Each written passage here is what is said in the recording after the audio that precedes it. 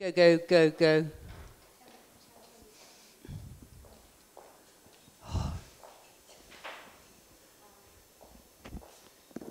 Right. I just say we're sorry that the food came out late Yeah. Okay. and just welcome. Okay. Yeah. Okay.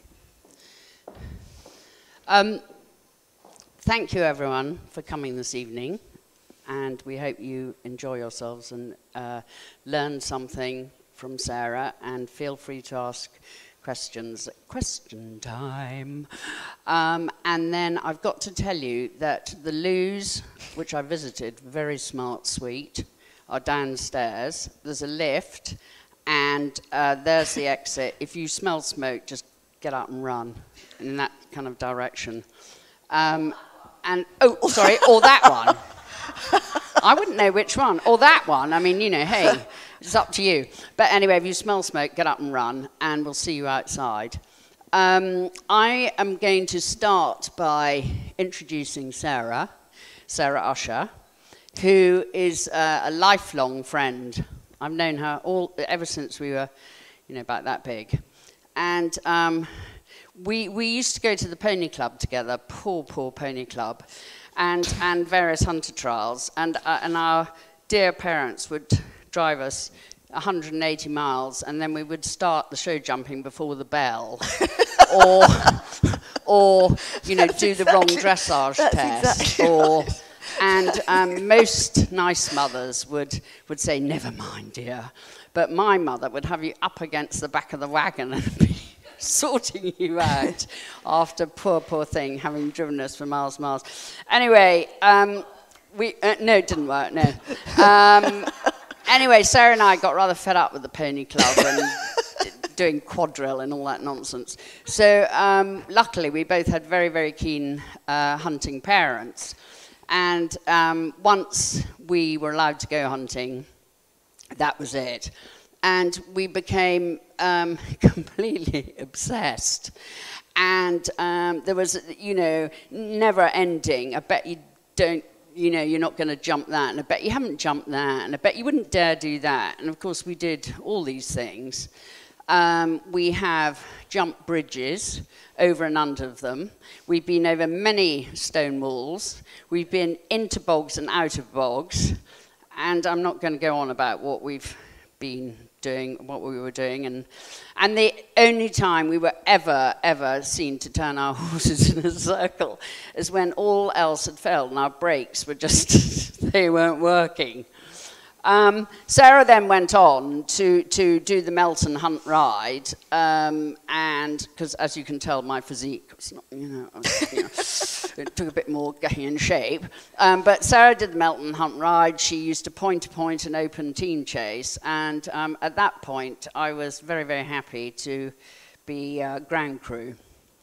Um, as you can see on the screen, um, or will, you'll see later, Sara has studied horsemanship all over the world, in France, in Australia, America, and she she has always, ever since I've known Sara, I think she's always felt that the horse's lot was not a very happy one, and she has made it her life's work to try and teach us really stupid humans to um, speak the language a horse can understand instead of one we assume they can understand.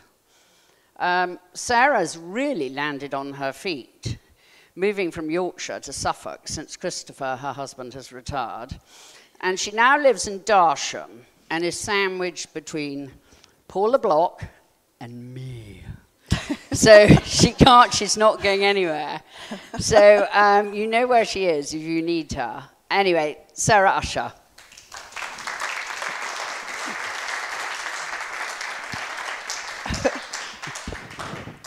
Thank you very much, B. It's not tamer than I thought it might be, so I'm fairly relieved. Um, leave my mic alone. Of course, I will, Umi. Can you leave your mic alone? thank you, Umi, very much for asking me here again to talk at your wonderful Science Cafe. And I hope you'll all bear with me, because I've only done this twice in my life without a horse, and this is the second time. So bear with if it goes um, pear-shaped at any stage.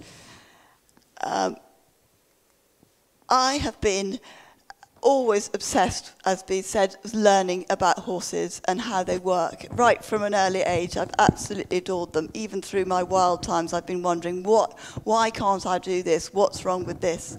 And um, I had many lessons from brilliant people, um, many riding lessons, and all the time riding lessons. All I really want as a child. What do you want for your birthday? Riding lessons.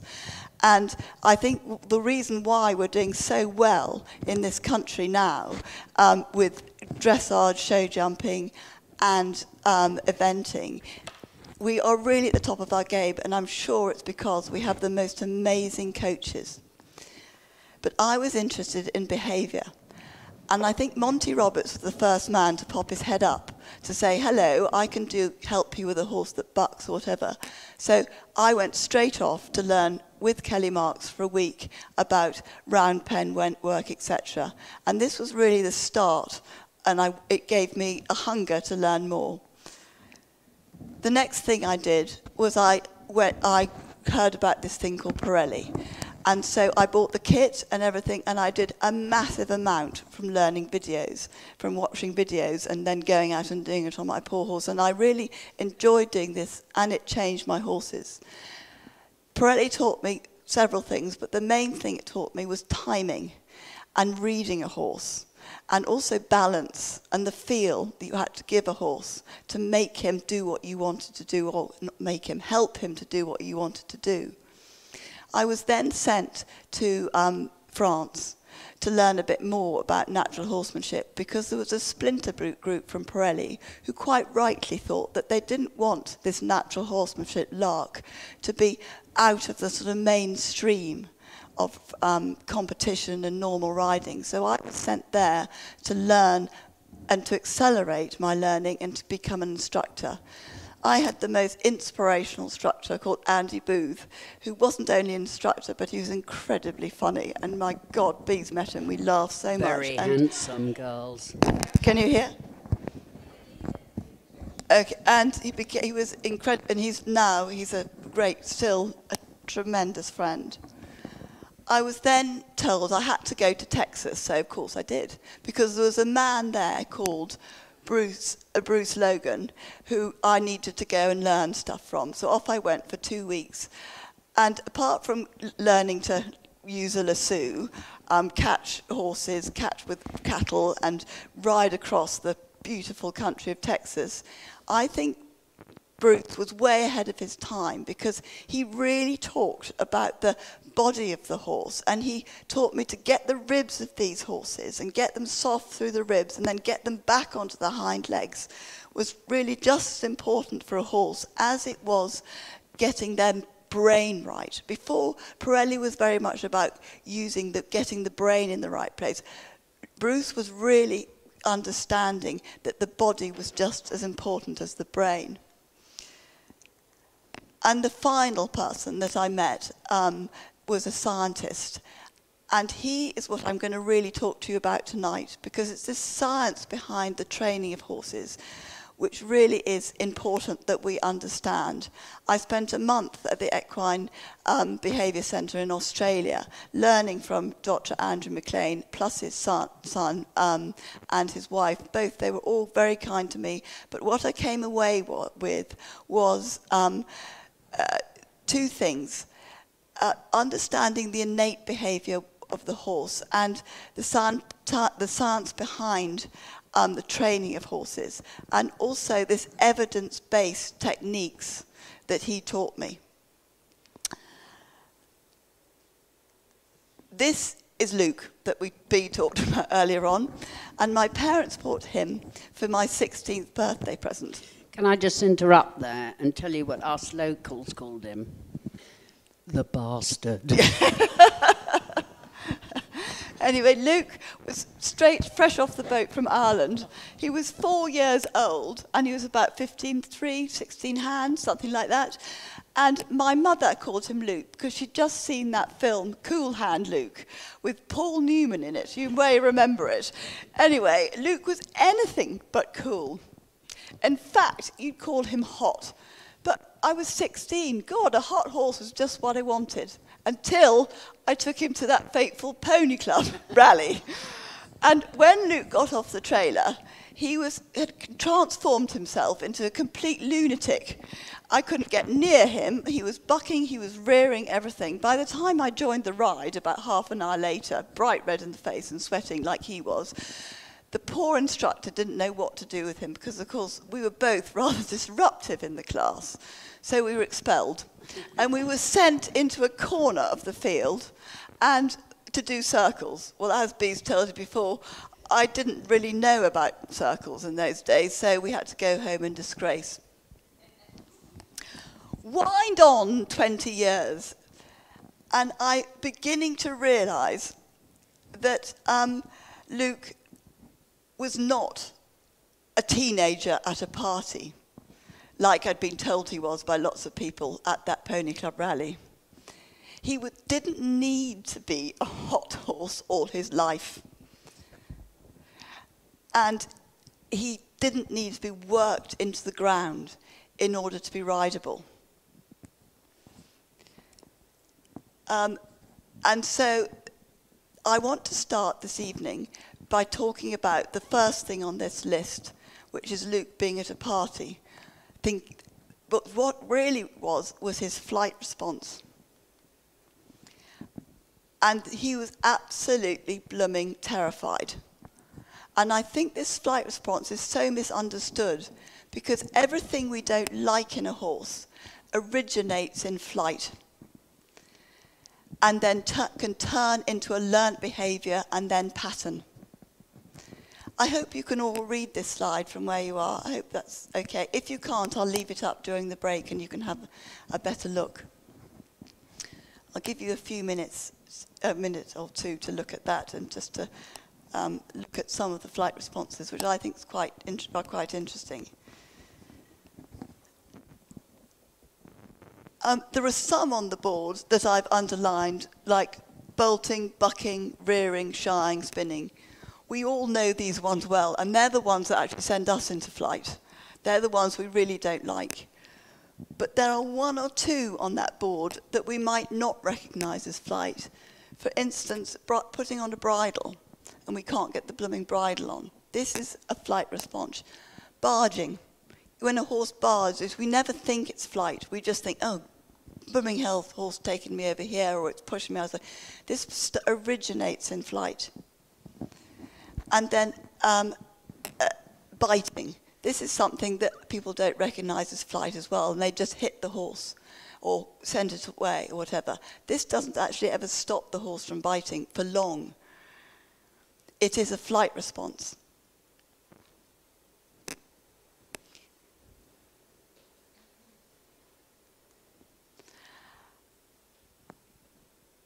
Flight is a trigger that goes off in the brain.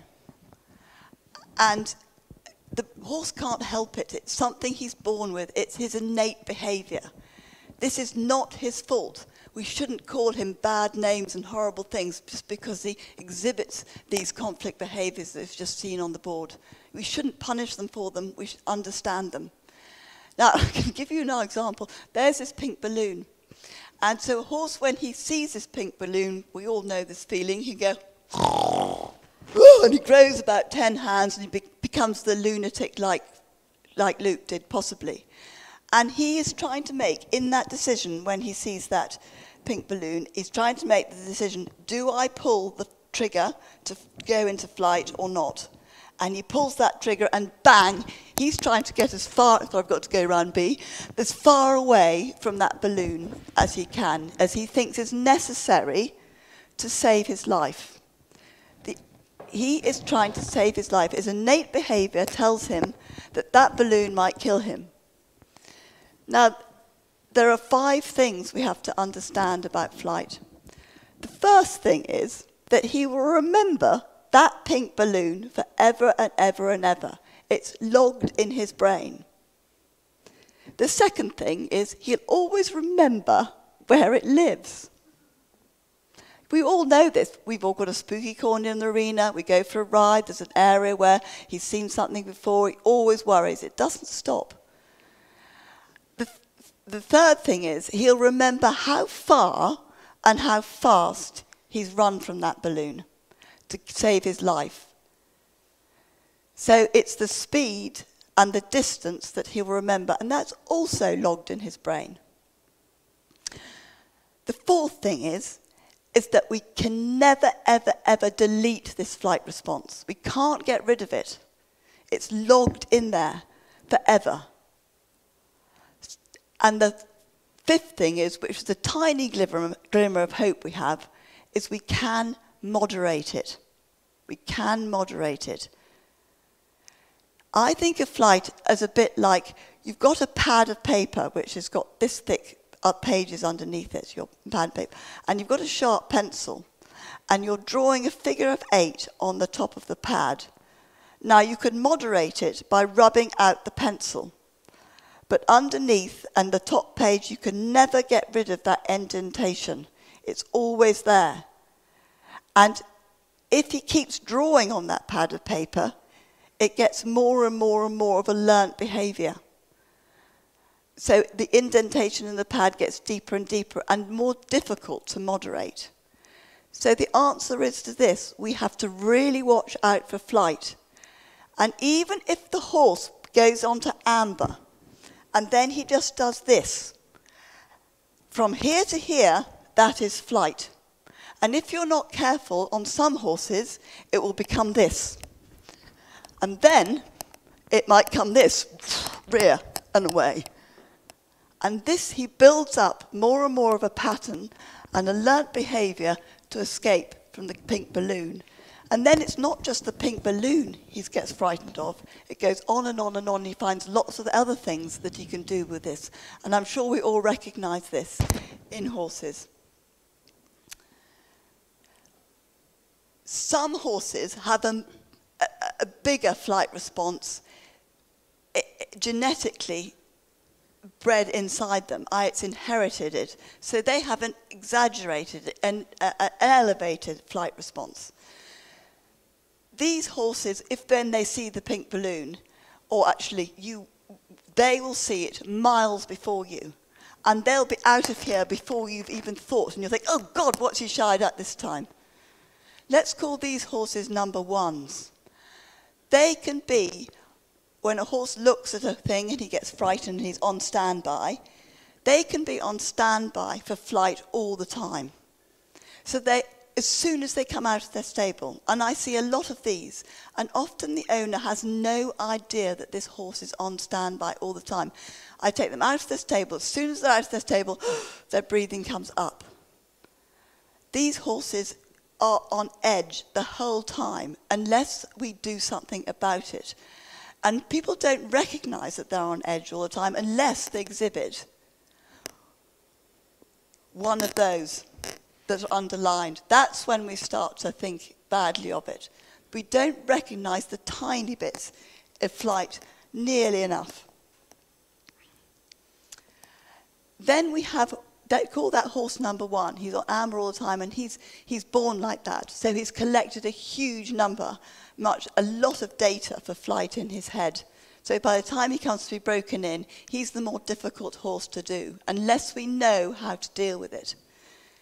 Then there's the horse number two, which is more trainable, probably your competition horse. So he needs a bit of this oomph, oomph in him, this bit of flight, so he can do all the things we need. But he gives you a bit more warning on amber before he runs from the balloon. So he gives you a bit more time, but he can become a number one if you're not careful. Because he will he could learn if you don't moderate that flight when he runs or does that step away he could soon learn to, to, to, do these, to do these conflict behaviors in order to get away from the balloon. And if you have the release of pressure when he's trying to get away from the balloon, he will learn it over and over again. And then there's the number three horse, who's your dear little pony that everyone wants their kiddie. And um, he sees the pink balloon and he says, Oh, I've seen a pink balloon before. And he just walks past it like this. And we all want one of these. God, I would love one of these now. And um, they're like they're like gold dust, and then they're happy hacker, whatever it is, and this is what you want for your child. Unfortunately, my child never let me buy her one of these. Um, so, how on earth do we moderate this flight response? Sorry, Umi, my mic again. That's, flight, that's my flight response, fiddling with my thing. Um, how on earth do we moderate this flight response? Well, the Germans would say, you get the horse on the aids. And they're bang on right. Absolutely 100% right. The only tiny trouble is, is that they start with rhythm in their training scale. And rhythm is like a child knowing how to read and write or write a sentence. You need, the horse needs to understand the ABCs of training. And we under, need to understand how he learns. So we need to tap into his, again, we go back to the wild, to understand how he learns. And say this, this flower is an ant hill, these flowers. A nose will pop his, her horse will pop his nose on the ant hill and uh, bitten by an ant and he'll go away. The ant hill is the stimulus and he gets a release of pressure by running away and the ants go away as he takes a step away. This is his learning theory. We have to tap into it in order to train him. He learns through operant, operant conditioning, trial and error learning, and that's exactly what the anthill is. Negative reinforcement is the posh word for pressure release. And this is what all good trainers, whether they know it or not, use to train horses. The one thing I find really interesting when I have a lot of horses in for re-education is that um, they don't know the signals stop, go, turn, and yield, which we use pressure release to teach. But the one they often really don't know is the stop response. So there's the horse's bit in its mouth. And I want this bit, him to understand that this bit means his front legs move, or he either takes a step back with his front legs, or he stops. Now, this mouth is a very long way from his legs. And a horse is often really confused about what that bit is doing in his mouth. So often when I put pressure on his bit, he will do several things. One of the things is this. Either because he's been asked for an outline, or because there's too much pressure in his mouth, so he tries to get away with it. Or he does this, because he just doesn't basically understand the stop response. Or he does this, which is almost the worst one. He charges down onto the bit because he's been taught to go to the bit and have a heavy pressure in the mouth. Wrong answer. Poor horse. He needs to understand that when we put pressure on the bit, it's his front legs we're talking to, and he stops or he takes a step back. I find this over and over and over again with every single horse I've re rehabilitated or had in for education. The mouth is full, stop and turn. These two signals, if he feels stop on both sides of his mouth, it's to stop. If he feels turn on one side, it's to turn his right leg, or on the left side, it's to turn his left leg, and he abducts his whichever leg it is. It's simple. It seems obvious. And when I heard this from Andy McLean, I just thought, oh my God, what? Why have I missed this all my life? Why have I been told never to teach, never to touch this bit? So much, there's so much confusion with training. And I think it's only when you have a problem horse to do that you realize you really have to make things so clear for him. Um, the next thing that we have to we have to consider when we're training horses is classical conditioning. This is secondary, and it's your voice, your seat, or your body language. And it, it comes in in front of whatever you're asking him to do. So say you're asking him to go, you could go and then use your leg. And sooner or later, he's going to go off the but you have to always go back to negative reinforcement. And then the last one is positive reinforcement. This is food or a scratch. A scratch, by the way, just behind the withers there, or in front of the withers, is an amazing place and a very handy place for us when we're riding because it actually, if you scratch them there, it actually lowers the heart rate by 10%, I think. Um, and also, uh, I use positive, um, positive reinforcement a lot when I'm initially training a horse because it really accelerates the training and the un his understanding. Um, this has been scientifically proven.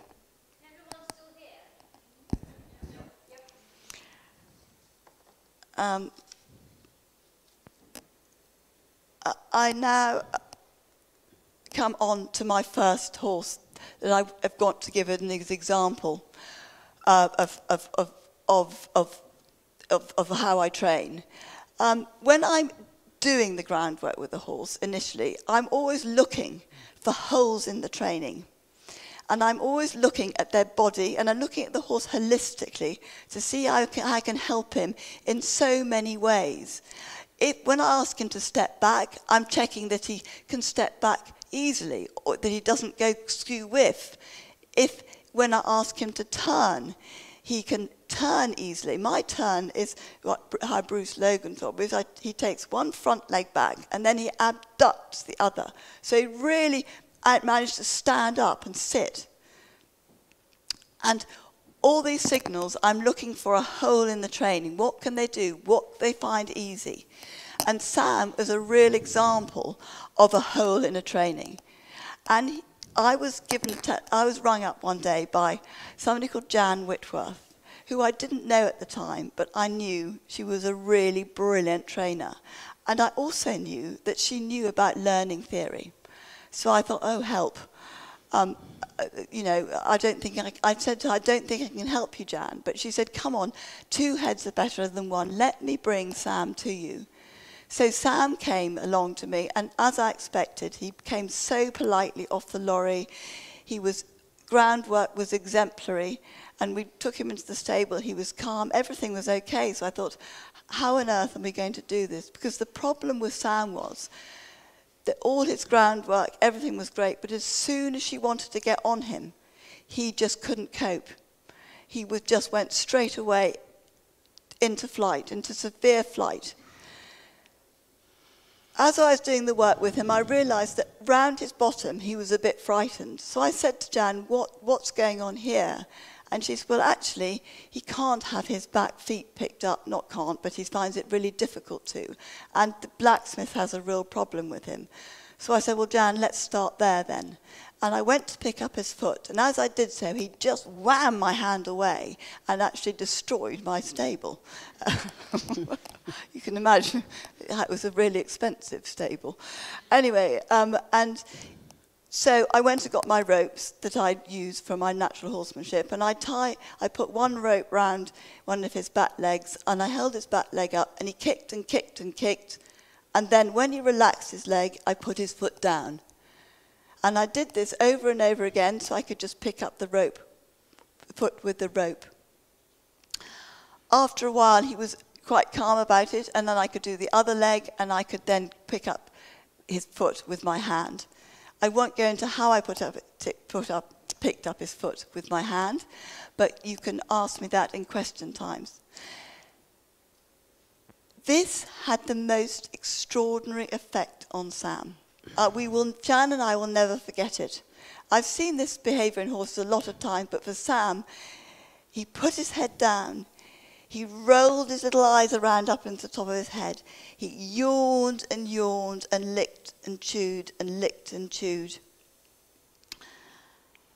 It was like he had so relieved that this little bit of flight that was left in his head that he thought was going to kill him if he let his hind leg be picked up. That's what he thought. It's that bad for a horse. And if people just understood that, they wouldn't get cross with them. He was that bad for him. So as soon as he realized we weren't going to hurt him, He could have his picked up, foot picked up. It was just like a light bulb for him. I forgot to say as I was going along, Fan, if every time he had picked his foot up, Jan reinforced it with food, with positive reinforcement. After that, the cards just fell. And I don't exaggerate when I say that half an hour later, he was being ridden around my arena. And he was exemplary because he was so quick to be broken in then, or to have a, accept a rider, because Jan had done all the groundwork. And Jan and I often talk about this now. And just look at this little pony. He's not a little pony, he's about 14 too. Look at him. I think he lives quite near here, and he's just a dream. Absolute dream. He's like, look at his posture. He's just beautiful. Everything about Sam, Sam, Jan did the most amazing, amazing job on him. And Jan is now such a good friend, and she did huge things for Daisy and I because she stayed on and she helped me train horses and and came once or twice a week to help us when we were when I was really busy with behaviour horses and with when Daisy was competing at a high level. And she remains a friend to this day. My next horse goes on in slightly the same vein, except B introduced me to Jemima. and Jemima actually lived down here and belonged to a friend of hers and mine now called Paula. And Jemima was unrideable, basically, and had been given to Paula to see if she could sort out. And if she couldn't, she was told to put her down or shoot her. Um, look how beautiful she is. And so Jemima came up to me, and her problem was that she reared, bucked, and spun. I think this is probably the, you know, uh, the least she did, to be honest with you. And um, and I really thought I had my work cut out. She got off the lorry in the normal form, absolutely terrified, whirling around. Da, da, da. I got her into the stable and started work on her. As soon as she understood that stop response in her mouth, she really started to change. And she, of course, she tried, trialed a few of her normal behaviors. But as soon as I said to her, no, I'm going to keep the pressure on, until you take that step back and make at least make an attempt at it, um, Jemima, soon as she realized that actually all she had to do to get a release of pressure was to take her foot back, she started to try harder. She started to realize there was an answer. There was always going to be an answer to my question because I was tapping into her learning theory. Now, the more I asked Jemima, the more I started to realize that her body was really holding her back. She was so on her forehand because often horses that exhibit these behaviors are really ridden in a way that they're being told, you will not do this, you will be here, you'll be, or they're strapped down or whatever to stop them doing stuff. And so this had caused her to be in a really uncomfortable position. And the next thing that really helped her was this turn where she had to back up, open this left shoulder. When I first asked her, she couldn't because she was so weighted over here. And I see a lot of horses that are weighted over here. And I think it's something to do with the fact that we lead them on the left hand side. And so they're always a bit like that. Um, and when I first asked her to pick up her front foot, sorry, you can't see her there, she could pick it up about this high. By the time I'd finished, she could do this. And again, she did a Sam on me at this point. She, she licked and chewed, and it was a, had a huge effect on her. I then took her into the arena. And you would have thought my arena was super, super, super spooky. Everybody hated me for it who came for lessons. it had deer one side, duck pond with ducks and geese flying off it. I had turkeys. I had all sorts of things that were really frightening for horses. But that was what I wanted because I wanted to get them to a stage where they didn't they were so on the aids that they'd walk past the turkey. So I needed things like this to train the horse that I had in for education. Jemima never looked at them. I don't remember you remember Paula. She didn't, wasn't bothered by them at all. And then when I started to do a little bit of saying, come on, get your hind leg underneath you, bend your body, get your shoulders up, that was the turning point. She just changed. So, what I'm trying to say about Jemima and about a lot of horses is that the brain and the body are linked together. You cannot separate them. And you have to think of both those things in order to get your horse to where you want him to be. They're inextricably linked. So it was both Jemima's mind and her body that I need to fix. And she never looked back. Paula was amazing with the groundwork, and she still does it religiously, and we still have a lot of fun working together with lots of horses. And she's helped so many horses get back into, into being, being able to be ridden again since that memorable day. Paula was there for a weekend with me, and on the second day, Paula did all the groundwork and she rode her. And she's gone on to be one of Paula's best horses this is an example of um, a before and after. Now, I didn't take these photographs, and I'm very bad about taking before and afterwards, after, but a kind client did this. And this was the horse when he arrived with me, and this is when he went. it wasn't long afterwards, it was only about four or five weeks, but you can see the change in him and how on the before he's really loaded on his front end and he looks a bit sad and his head looks big. This is what happens when a horse starts to carry himself how he should in what I call his correct natural posture. You can see his head looks smaller. I'm afraid, I'm sorry he's not standing square. That always annoys me, but I didn't take the photograph. But you can see he's much more loaded on his hind legs, or at least equally. But this isn't a finished job at all he did come from me behaviour problems, and they were gone in a trice, and I concentrated on his, his, his, his posture for, for most of the time he was with me. But I had huge help. I had help from this wonderful osteopath called Gavin Schofield, who trains the nervous system to remember where they should naturally be. And I had a friend called Carol Brett, who I miss hugely, who had who had um, a saddle company called Balance Saddles, and they were the first people to really understand that the saddle could affect a horse's way of going. And he had a balanced saddle specially for him. And these three things changed him. And he, again, he never looked back. My favourite horse of all time, I have to say, was this little horse called Little Mickey Finn. and my daughter, Daisy, made me buy him. When we went to the dealer to look at several horses, there was a very nice little grey standing in the corner, and then there was Mickey Finn that she bought out first. She obviously was desperate to sell him. There was a 23-year-old boy riding him. He had such a tight noseband on, you could see where the mark had been, where he'd had it on. Um, and they must have it up with a crank. But he still managed to get his tongue out, and there was still foam flying around. And Mickey Finn was behaving so badly, but this boy was very strong. And Daisy said to me, Mum, I want to ride that pony. And so I let her. And she had a honeymoon period on him, of course, because she wasn't really doing battle with him. And she'd done a lot of natural horsemanship at this stage. So she really showed him stuff that he hadn't known before. So we had this time when he was pretty nice. And I found myself writing out a check um, for meat money for him.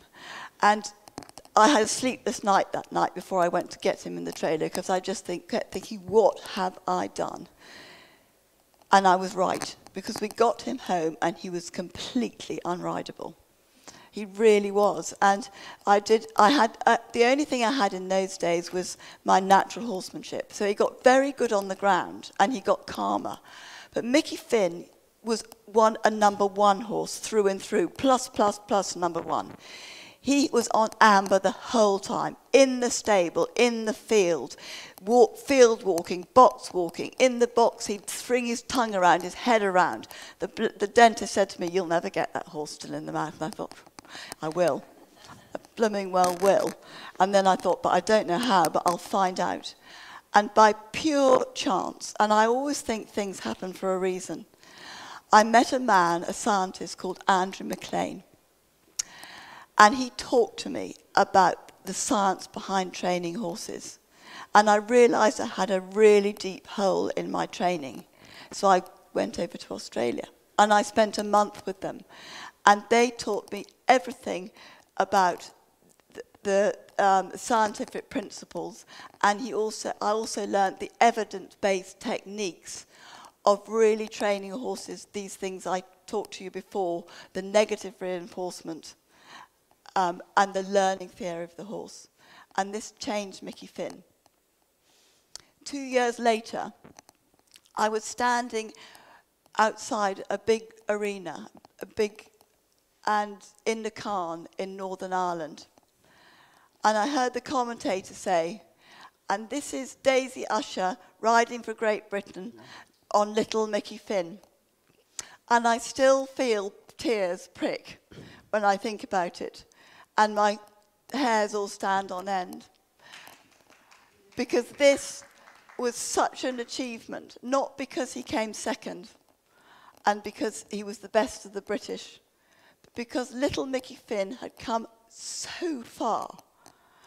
And it was such um, a hard work, and it was the most wonderful day I think I've ever had in my training of horses. And I just have to say, which I forgot to say earlier on, Mickey Finn did all these. there wasn't one he didn't do. Not one. Not one. so if you want a horse that you really enjoy riding, for what, whatever discipline you have, it's really important we understand that flight response and we understand how to moderate it. Um, if you want him to be obedient and willing, you need to be able to tap into that learning theory and really teach him the signals over and over again. He's not wired up to remember them, so you have to teach him every day. And then to use his body correctly is one of the most important things too for him, for the horse. All these things are for the horse. If we do it for the horse, we'll get the rewards. This is a picture drawn by my brother, my brilliant brother. And I think this sum, his words just sum it up. We have a long way to go, sighed the boy. Yes, but look how far we've come, said the horse. Thank you so very much for listening, and please, any questions are so welcome. Thank you.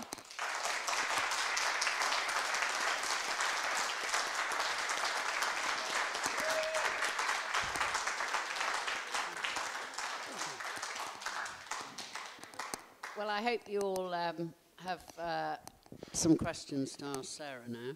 Later, no, we do that later, after, I think. After, after. after, after.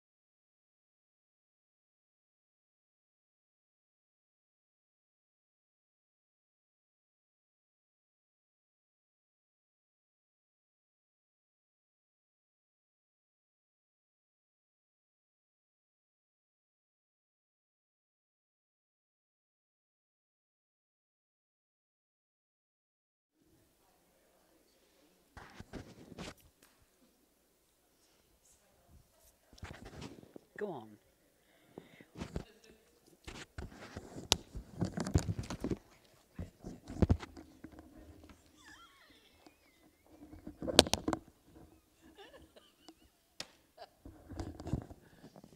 Okay.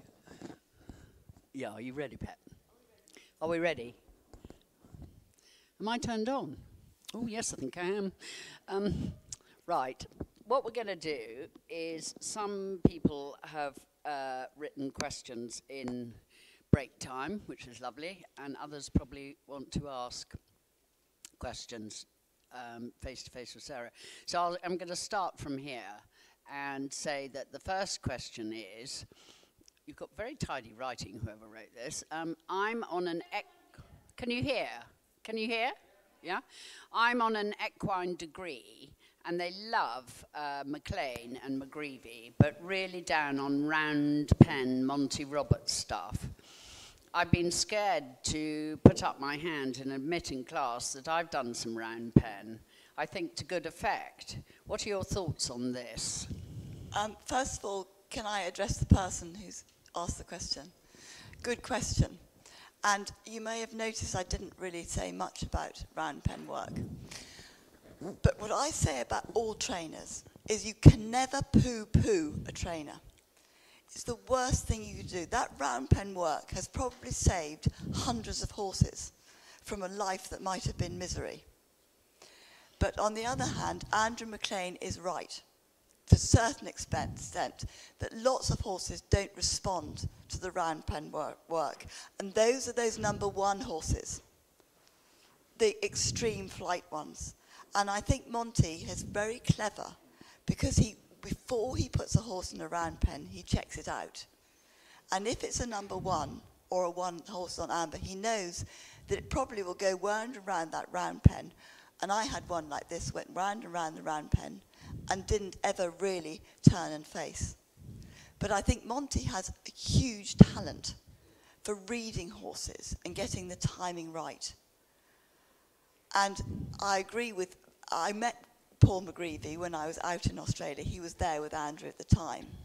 He's not, he's, he's a scientist, he's not a horseman. And I think Monty Roberts is a horseman. And I think it's very dangerous and not right to criticize somebody when they're doing so much with horses that is correct. But I understand because putting a horse into flight mode when it has an association with you is probably not the right thing to do.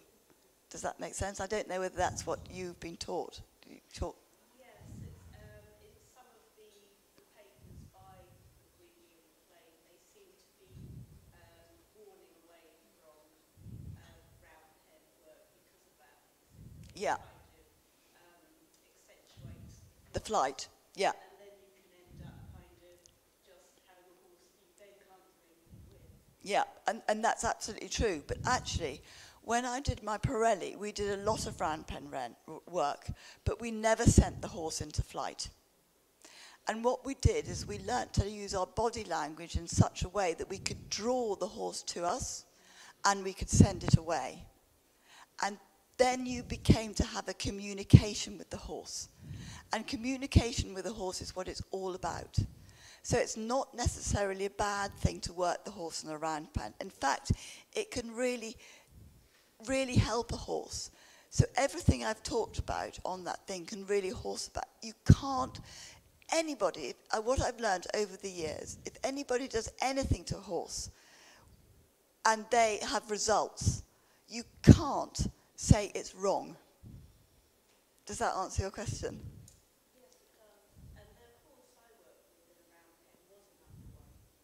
was a number one, and it did, and, and and what happened?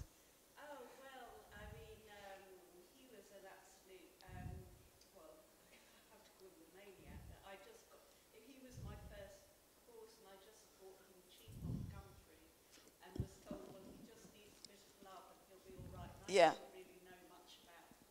Yeah. And um, I took him to uh, the livery yard, and I thought they're all going to help me there because it was a riding school, and I thought, you know, they'll teach me, they'll show me what to do. But none of them would come near because he was just like, just leading him out. He just start yeah. rearing and going crazy. So they had a round pen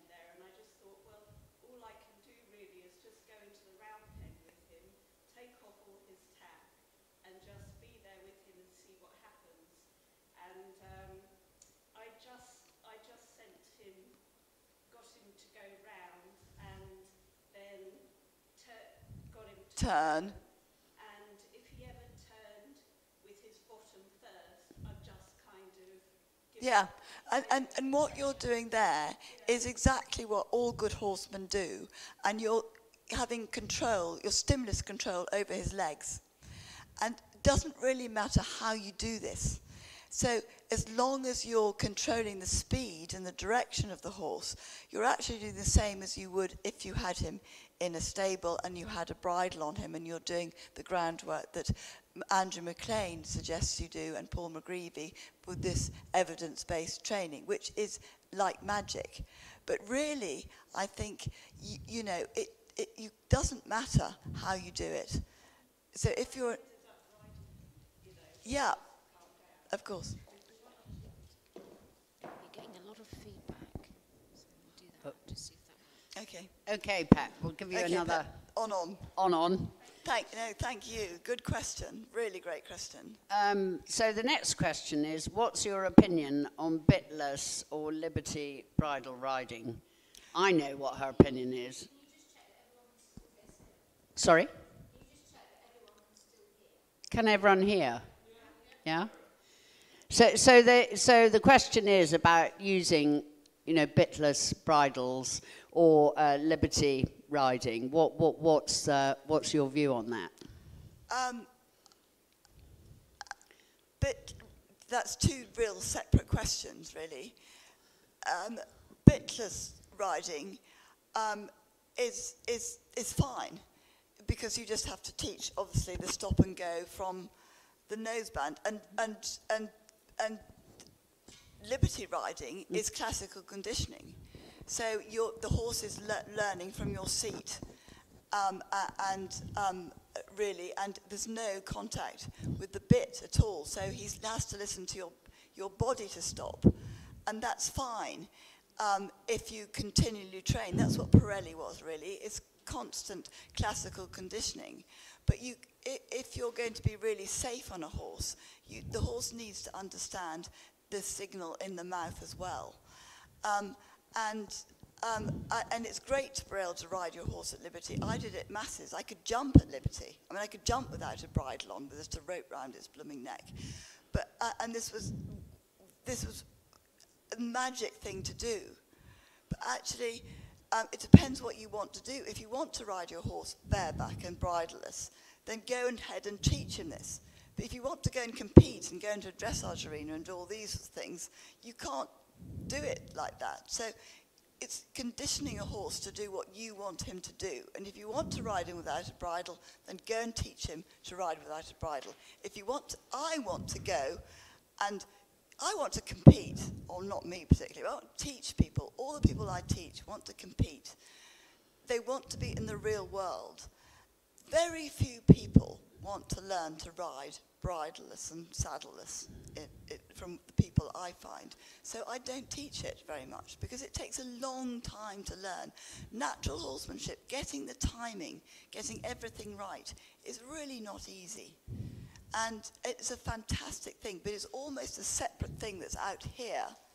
Whereas I want to be in the midst of it all and just help horses to be happier, not necessarily to be ridden at liberty. You know, it takes somebody with extreme skill. These men that ride horses with the four either side of them, I can begin to do that. Uh, Pat, come on, you've done that. Yeah, of course I have. You know, Not meaning, Not meaning to. not meaning to.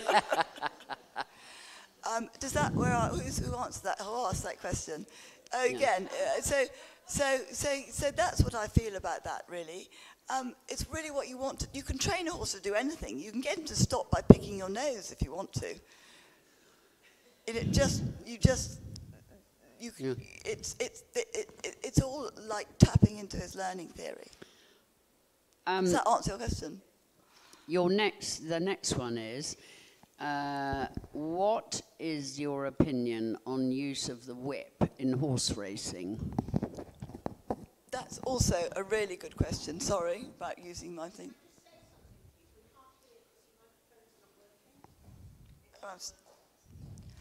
Is it working now?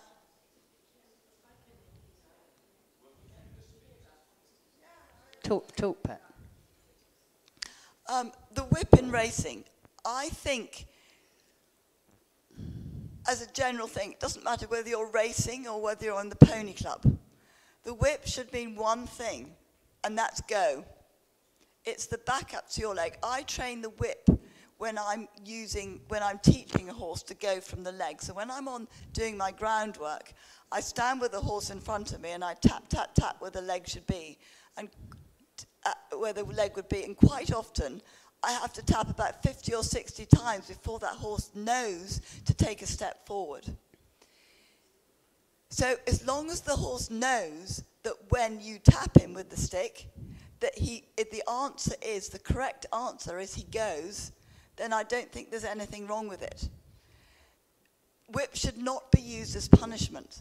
So if that rider says to that horse, come on, here we're going flying out, taps him, and the horse knows, "God, I've got to go now. Because don't forget, jockeys have very short stirrups and their legs are, you know, they can ride with their bodies. So actually, probably, it, I don't know, but it might be more, it, might be better, and I'm just saying this off the cuff, it's probably completely wrong. Might, instead of really using your body a lot and, dis, and making the horse come off balance by your body, if you could just tap him gently and say, come on, and he knew that meant he picked up his hind leg and he brought himself uphill and he fired off your fired off that whip.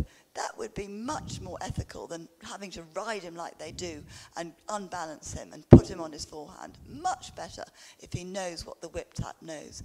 But you have to train it. Like anything, you have to train it over and over again. It shouldn't be a flight response. The whip should not be a flight response. So when you use it, he should not go into flight. It should be, he should know that it means he goes. Does that make sense? Who's, who asked the question? That's Um, you again. The next, the next uh, question we have is um, my 11-2 pony is frightened of pigs. What, what can I, what can I do about it? I mean, not my, my, my 11-2 pony. Your 11 2 pony is frightened of pigs. Again, you have to really train the responses well. So, uh, if a pony sees a pig, there's lots of, he will probably stop and look at the pig. Now, sometimes if a horse stops and look at the pig, you just need to give him a moment to look, probably about 15 seconds, something like that. And then you can very gently ask him to go on. And then you could ask him to stop again. And then you could ask him to go on and stop again. And then ask him to go on and stop again. And then you could make a turn into the pig, but you can't, what I call, flood the horse. So you must do everything as far away from the pig as he can tolerate. You don't want to say to him, you will come and be next to that pig and you'll do everything here. You need to find really where that transition point is between him being okay with the pig and not being, just not being okay with the pig and, and ease it in so that you do it by degrees. So after a while, he will just be on the aids and he'll walk past the pig. But you have to do it by degrees, and you have, he has to know your signals really well before you take him to the pig. It is about letting him see it first for a little while, but not really close. You can't say to him, you will go and stand by the pig. But eventually what you're asking for him is to be relaxed by the pig. And I would probably do it, I might do it on the ground first near the pig. I might, uh, depending on the horse, particularly with a 12-hand pony, it'd be easy, you know, it, it, it just depends on the horse and his flight response, but you'd have to do it so you really didn't cause him ever to run from the pig too much. As soon as he's run from the pig, you you, you start to have a problem. You've got to get it so he, he can tolerate it, or you're not flooding him. Um,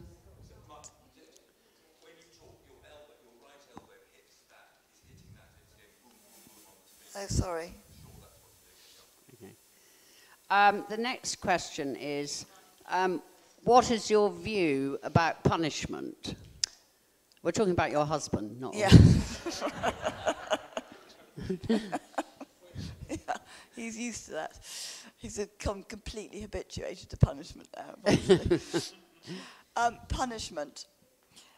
Um, I think when I want to use punishment on a horse, it's slightly, I've come to the end of my, I've, I've run out of answers.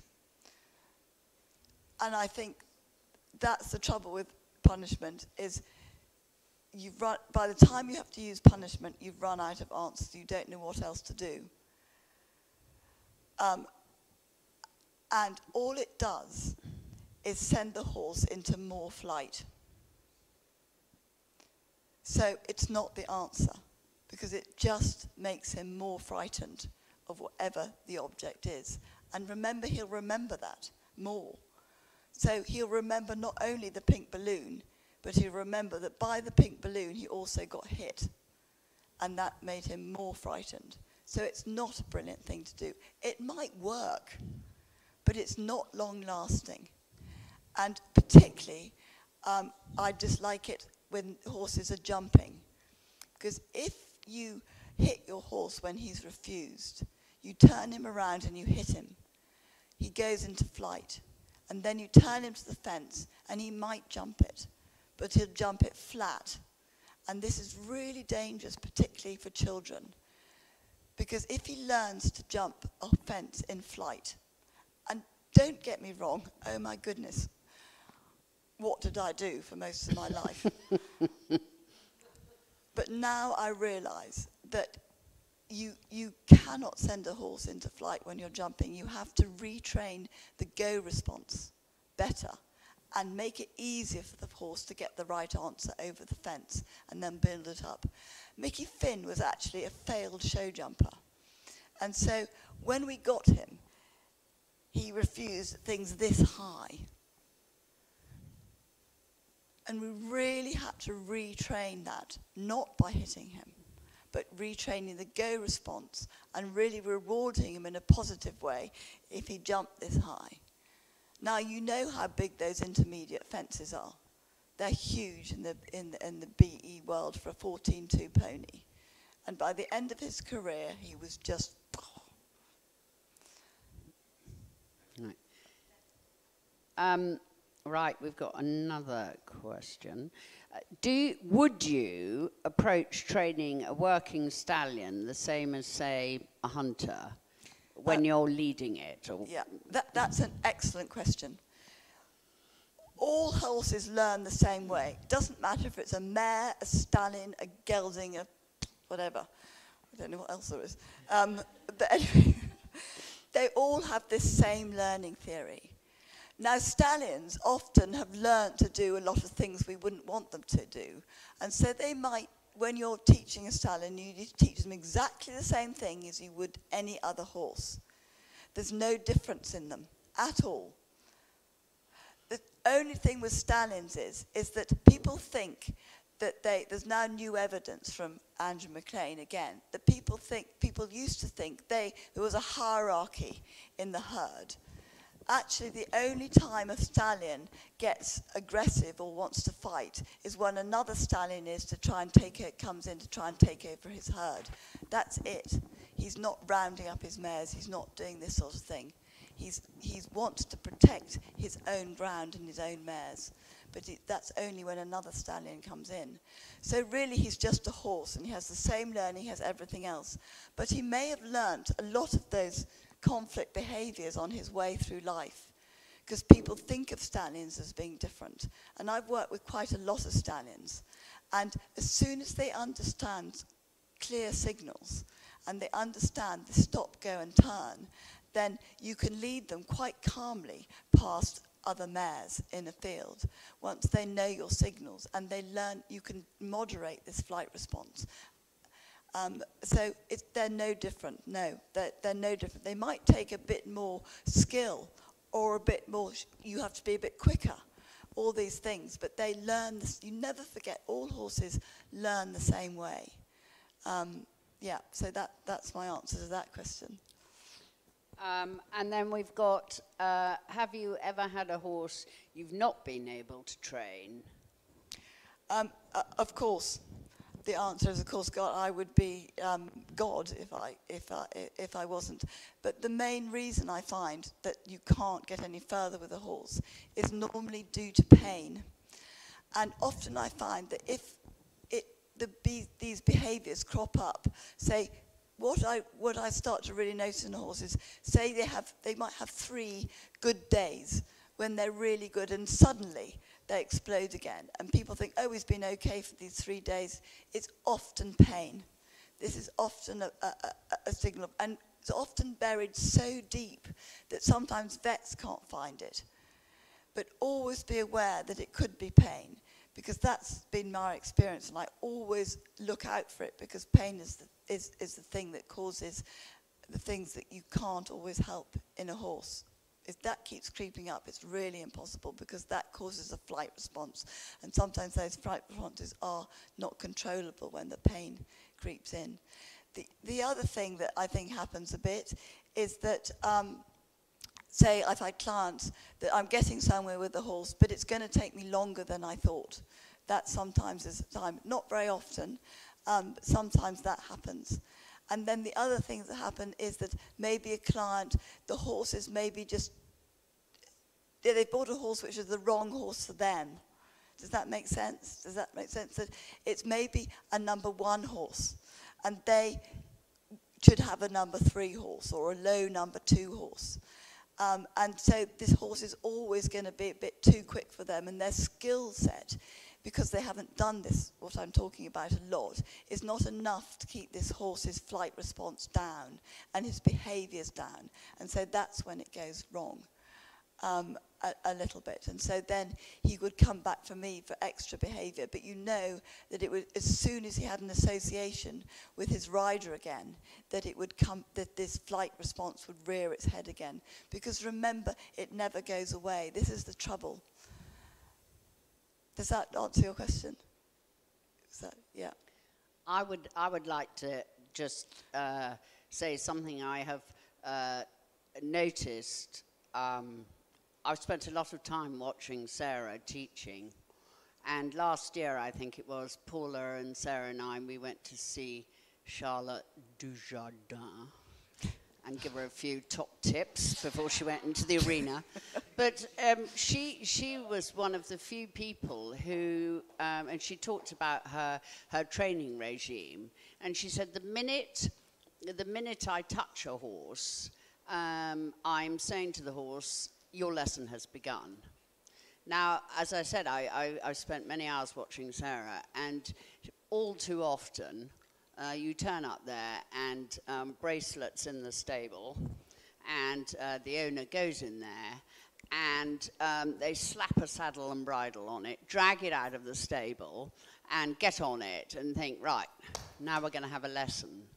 Well, you know, the poor horse, what they should have done is said, you know, hello, bracelet, I'm a human, you're a horse, and I'm going to do your bridle, and I'm going to do your saddle, and I'm going to open the stable door, and you're going to stand there until I ask you not to stand there. So, so a horse doesn't understand suddenly, you know, when the lesson begins, like we That's do. so true. That's so, so the true. lesson always begins the minute you touch that horse, the lesson has begun. The But minute- people will go and actu- drag their actually, horses. Bea, You're absolutely right. The minute you see it, the Yeah. minute it sees you in the field. Every time you use this is rubbing on here. I'd almost hold But it in your hand. but um, uh, so so many people, or, or the other way around, they'll finish their lesson, and um, by the way, you never see a horse patting another horse. They don't understand what being slapped on the neck is about. It's an awful human thing, you know. And as Sara said, you must scratch them. That's what horse talk is, not a wallop round the neck. um, and and they and then you get off your horse and you you attack it with a hose pipe, and then you I don't know put a rug on it or something, and then you you go right lesson over and you drag it out to the field. Well, what you should be doing is going stand still. And we're going to go two steps at a time, one step at a time, six steps backwards, one step forward, because the lesson is not over until it is free. But people just think once you get off, then these rules don't apply. Or before you get on, these rules don't apply. Yeah, that's so really- the that's poor really true, horse is so confused before you've even started. So that is what I've learnt from watching Sara. That's so true. That really is true. Anyway, does anyone else want to ask a question before we put her back in her cupboard? In her stable. Yeah? No? Okay, thank you very much, Sara. It's been fascinating.